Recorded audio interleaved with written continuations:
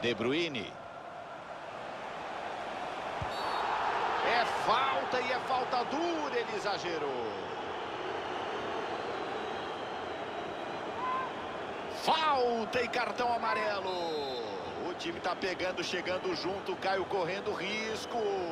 Tem que tomar mais cuidado nas divididas, Guga. Não podem perder mais ninguém agora.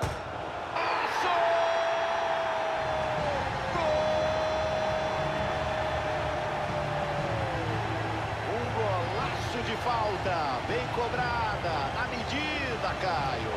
Pode ter certeza que a defesa vai pensar duas vezes antes de fazer outra falta ali.